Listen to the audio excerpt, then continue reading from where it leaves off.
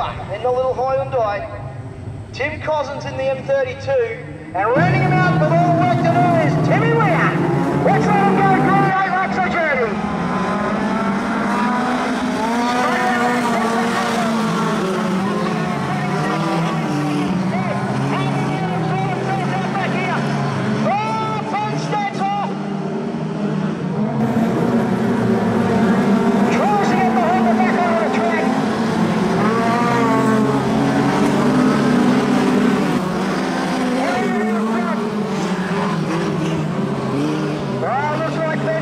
something to 40